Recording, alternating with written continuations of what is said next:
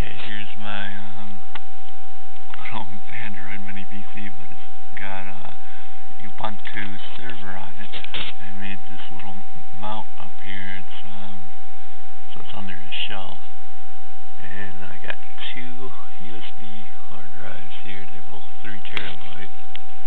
USB 3.0, but this only does uh, 2.0, and here's the uh, cheap um, USB hub I'm using. It works um, non-powered because everything's powered by uh, this USB right here. It's like uh, goes down to here and it's powered by that and I got other power supplies on the other side of it.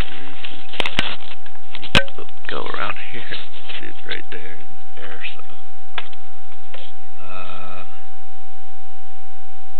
so it's all being powered by that one little like power strip, I guess. It's got three um, power plugs and two USB charger plugs.